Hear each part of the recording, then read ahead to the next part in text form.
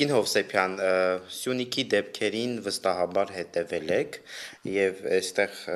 տեսակ, որ արդեն վարչապետի պաշտոնակատարին դիմավորում էին հայհոյանքներով, տարաբնույթ վանկարկումներով, ինչ տպավորություն է ստեղծվել ձեզ մոտ այս կադրերը նայելուց հետո։ Տպավորությունը մեկն է, ինչ որ ցանել են, այն էլ հնձում են այն ատելությունը, այն խոսքի մշակույթը, որը որ ամբողջ այս 3 տարիների ընթացքում լծվեց հասարակություն, թերևս դրանից առաջ այնպես չէր, որ դա չկար, բայց կարծես դարձավ սովորական մարդիկ իրար հետ սկսեցին այդ այդպես խոսել։ Նախկինում massայական էլի պետական պաշտոնյաների նման արտահայտություններով են հաղորդակցվում, բայց կարողացել էին բալանսը պահել եւ massայական միգուցե վախի մտնոլորտից էր, միգուցե ինչ-ինչ պատճառներով չէր դառնում, հա, այսպես ասած առօրեական, բայց վերջին 2-3 տարիներին դարձել է առօրեական, մտել է արդեն ընտանիքներ եւ բնական է, որ այս ամենի վերքահավաքը հենց իրենք է պետք է անեն։ Եվ շատ մեծ ցավ եմ ապրում, ոչ թե նրա համար, որ արժանի է կամ արժանի չէ, որովհետեւ նորից եմ կրկնում, եթե սերմը գցել ուրեմն ծիլը պետք է տեսնի եւ բերքնել հետը, այլ մեծ ցավ եմ ապրում, որ մենք ազգովի դարձել ենք իրար պախարակող, դարձել ենք իրար նվաստացնող, եւ ամենամեծ ցավերից մեկը այն է, որ ազգային ժողովի падգամավորը այդ ամենի ժամանակ իգնահատում ասում է ստորացնելով, հա, նսեմացնելով պատժել է պետք։ Սա ամենամեծ խնդիրն է։ Ինչ ասել է ստորացումը, ինչ ասել է բարոյական ճնշումը, եթե օրենքով է ամրագրվում ամեն մի օրինախախտի համապատասխան պատիժը եւ օրենքով բարոյական, այսպես ստորացումները։ Եվ մենք կոչ ենք անում, որ նման վերաբերմունք ցուցաբերվի։ Իսկ ուր է օրենքը, օրենքի մարդը իրավունք ունի այսպիսի տոնով եւ այս բառերով խոսել։ Այս կանը։ Վերջո դա նաեւ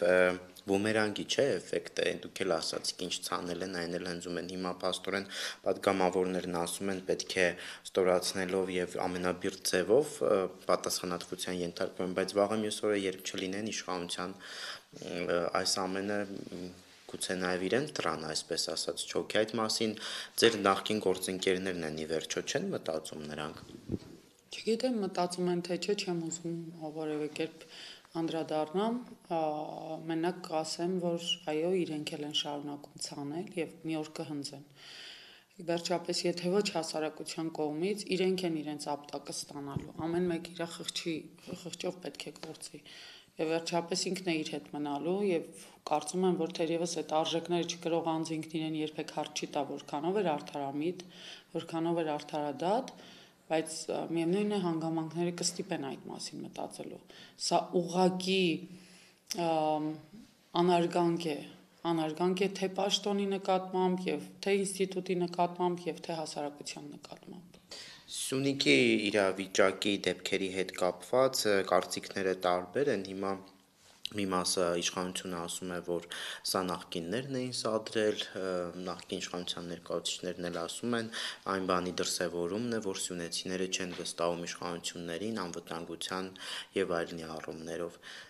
Ինչ է կարծում, այս ամենը կարող էր կազմակերպված լինել։ Եթե անգամ կազմակերպված էր,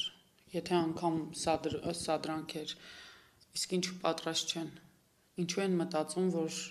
իրանք ամենաանփոխարինելիներն են եւ այսքան եղածից հետո չպետք է որևէ կերպ հասարակությունը ինչ որ ձևով արձագանքեր սոցցանցերում նախորդ իշխանությունների կամ սյունեցիների գրառումները չեն շատ մարդկանց անձամբ եմ ճանաչում շատ գիտակից անգամ մշակույթի ու առհասարակ մտավորականության ներսից այնպիսի վերաբերմունք է, որ դու չես կարող ուղղակիորեն համարես, որ բոլորը սրա կամ նրա սադրանքի հետևանքներն են։ Այդ ամեն ինչը մարդիկ արդեն հասել են մի եզրագծի, որ երբ տեսնում են այսքան խնդիրների մեջ 5000 երեխայի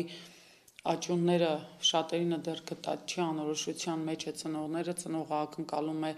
գոնե մի բուր այսպես իր որդու դիակից որ հասցնի գերեզման ունենա, այն մեկը ակնկալում է որ պետք է վերիներ բերեն, այն մեկը ակնկալում է որ պետք է հայտնի դառնա գերի է թե զոհված է թե ինչ կարգավիճակ է սահմանների վիճակ անհասկանալի օրական մի դիպված լինում է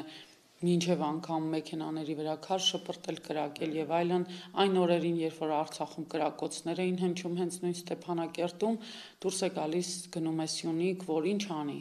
Այն դեպքում, երբ որ մեկ էլ Սյունեցու տունը մտել է ադրբեջանցին թշնամին ու գնում է Սյունիք, որ ասի ամեն ինչ լավ է եւ հոգատար հանրություն ենք, երջանիկ հանրություն ենք ստեղծել, հոգատար վերաբերմունք ենք ցուցաբերել։ Պետք է իրենք պատրաստ լինեին դրան։ Եվ պետք է հասկանային, որ հնարավոր չի ուղղակիորեն այսքանից հետո գնալ եւ ծափեր ստանալ։ Եթե ազգային ժողովի դալիճում ծափահարում են շատ վատ դիրիժորի արկայությամբ, ապա դա չի նշանակում, որ հասարակության բոլոր շերտերում իրեն պետք է ծափարեն, պետք է ուղղակի պատրաստ լիներ պատրաստ լիներ թե գովեստի խոսքին լսելու եւ թե այդ բառերը լսելու ամեն ինչի Եթե կա օրենքի խախտում օրենքով գործեր, ինչը այս 3 տարիների ընթացքում ակնկալեցին հասարակության բոլոր շերտերը, բայց այդպես էլ չտեսան։ Ավելին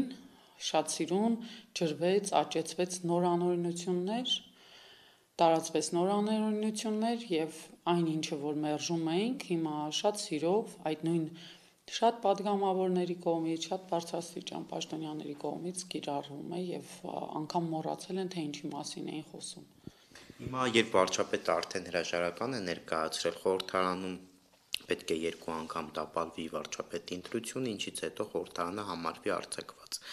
Ընդդիմադիրների մի մասը կարծիք ունի, որ բացառված չէ, որ Փաշինյանին կարող են ընտրել խորհրդարանում, ինչը գիտենք կբերի այնպիսի մի հետաքրքիր իրավիճակի, երբ այլևս 1 տարի